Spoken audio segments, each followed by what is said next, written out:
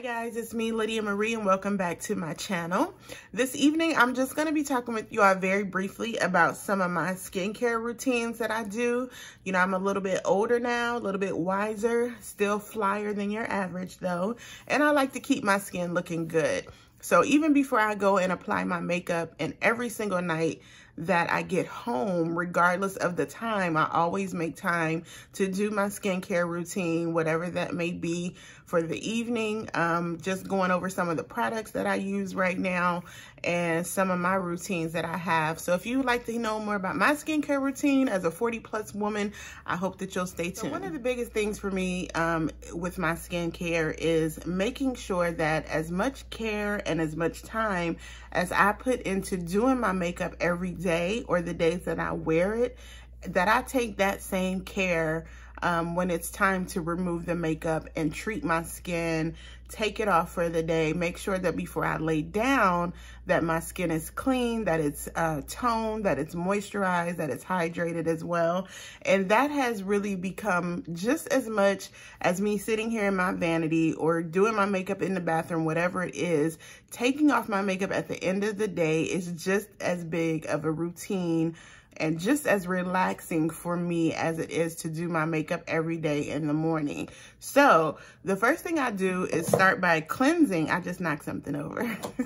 first thing I start doing is cleanse my skin, remove the makeup, either with a makeup wipe, and I normally get those from Target, the Target brand, the Up and Up Makeup Sensitive Skin Wipes, or I use this Garnier um, Micellar Water. This serves as a cleanser as well as a makeup remover. Can you see that? So I use this, I put some on a cotton ball and I literally just take a cotton ball, drench it with this micellar water and just clean my face. Now, this, since this is a cleanser, technically you can just use this on your skin take off your makeup and that will serve as your cleanser for the day on a day like today where I kind of had on heavy makeup, well, not really heavy, but like I had on foundation, concealer, highlighter. I guess you could say I had on a full face. I would take this micellar water. I would cleanse my skin with the cotton ball, right? Make sure all the makeup is off and things like that. And then I'll go in and actually clean my face with a cleanser. So I like right now the Hydro Boost by Neutrogena. I'm using this cleanser. I really, really like this cleanser. It's a gel formula and it comes in this pump. And I normally just, you know, take a couple of pumps of it, cleanse my face as usual, rinse it with tepid water, and then I go to the next step. I've also started using this cleanser from The Ordinary and this is, a, I believe it's a squalane, squalane cleanser. I hope I'm saying that right.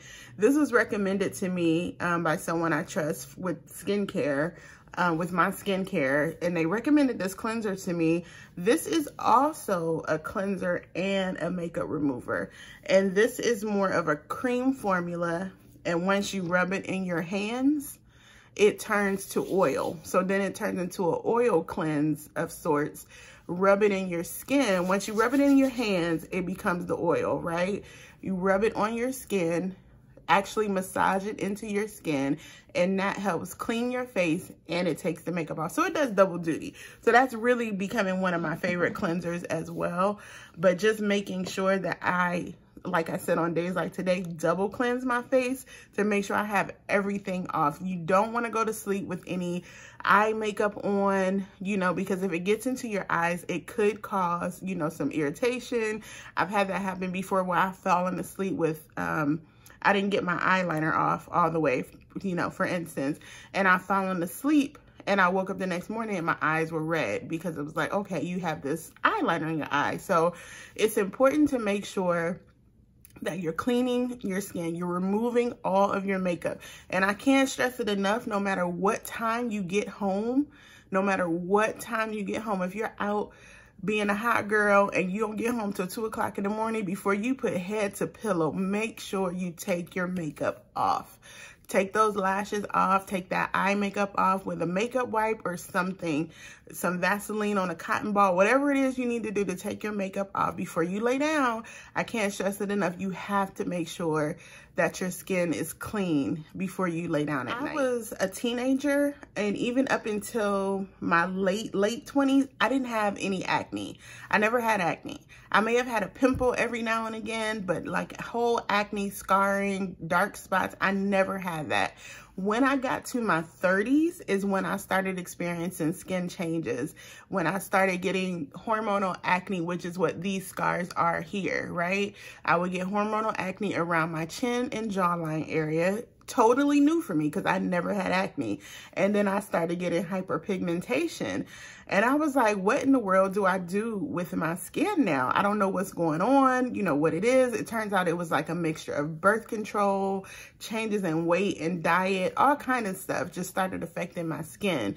And previous to, prior to that, I was just using soap and water. Whatever soap I was using in the bath or shower, that's what I was using to clean my face. And it just, it didn't work anymore. So I really had to learn, and I'm still learning at this big age, how to properly treat and care for my skin.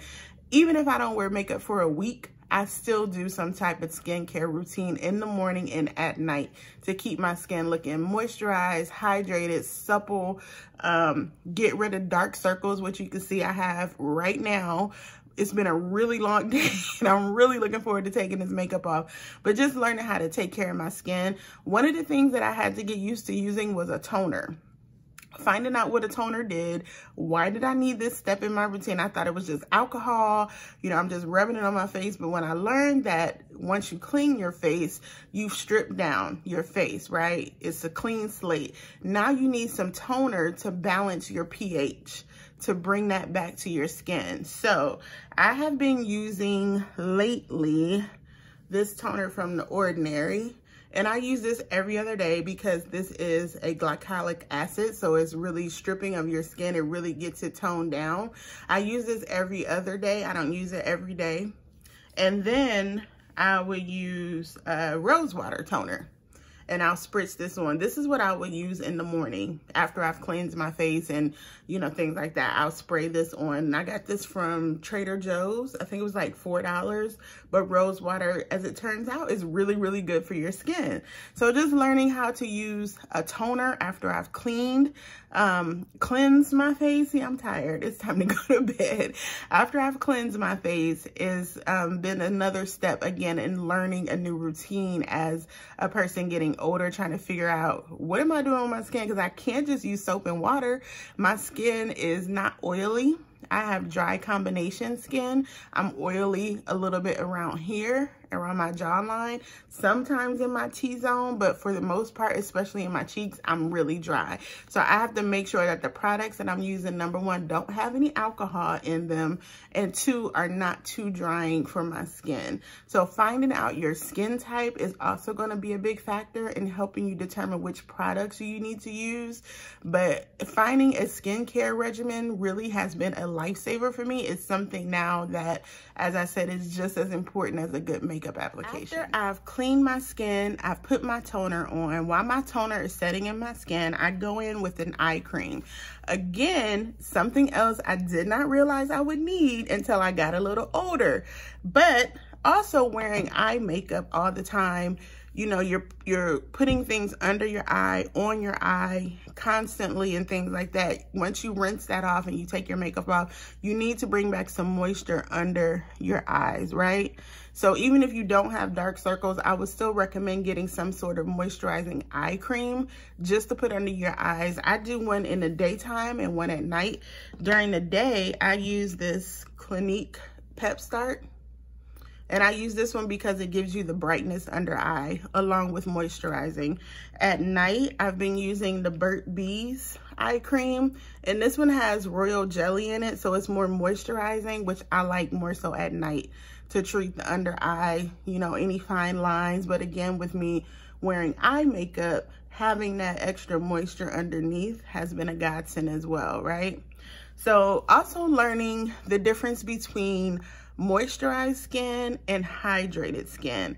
That has been something that I didn't know for a very long time. I'm not gonna lie. I'm not, I don't have a problem being totally transparent. Again, learning skincare has been something that I have been constantly learning or even still continuing to learn, right? So learning how to not just put a moisturizer on my skin at night, put a face lotion, I'm like, all right, I'm good but really learning how to lock in the moisture after you've gotten your toner on and now you're like, all right, my skin is clean. It's been toned. I'm getting my pH back in balance. Cool. I can go to bed, right? No. You need some type of hydration product to help seal in the moisturizer that you're going to put on next.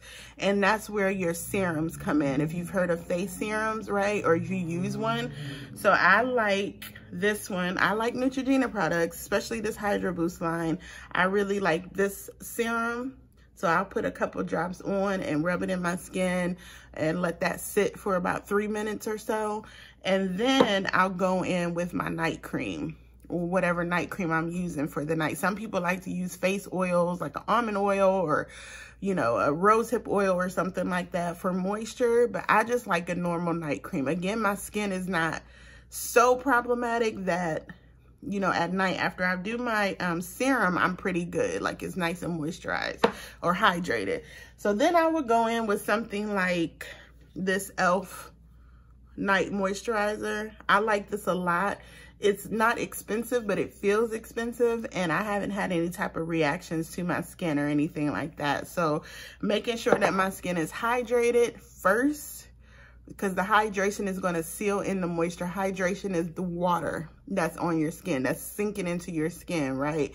And then you have the moisturizer that's going to lock in those water products. So if you're using the Neutrogena serum, the Neutrogena Hydro Boost serum, then you go in and you're like, all right, it feels good. This is my moisturizer, but it's not.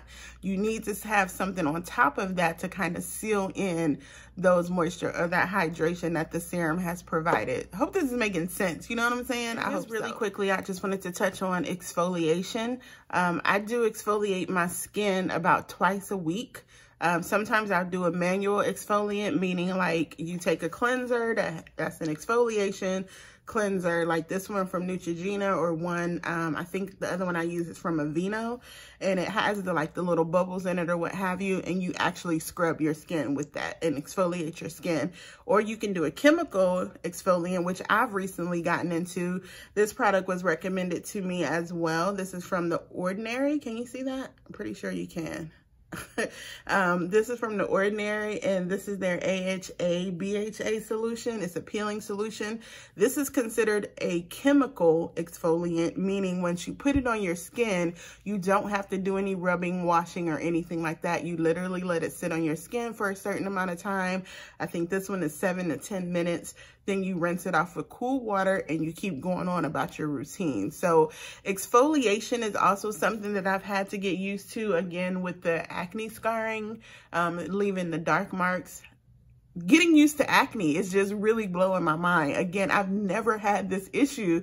And now that I do, I'm like, okay. So learning how to treat hyperpigmentation, learning how to treat acne scars, exfoliating really does assist with that as well. As usual, guys, I thank you so much for watching this evening. If you have any questions, concerns, comments, if you want to let me know what you're using on your skin, if you have any suggestions for me of what to use on my dry combination skin, drop that information in the comments below. Feel free to hit me up on the gram, hit me up on the comment section in Facebook, hit me up on Twitter if you even want to do that with any questions or concerns. I appreciate you guys watching. Don't forget, as usual, to hit that subscribe button I know you see that subscribe button down there, player. Go ahead and hit it. And I'm going to go because it's been a long day. I'm ready to drink my tea and I'm ready to go to bed. So thanks so much for watching, guys. Have a wonderful rest of your night and I will see you the next time.